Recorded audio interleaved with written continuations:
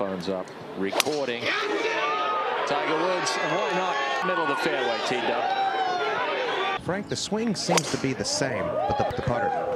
Good question, Colt. Uh, I think it's for a couple of reasons. Two. And this Second shot into one got them a bit. towards the hole.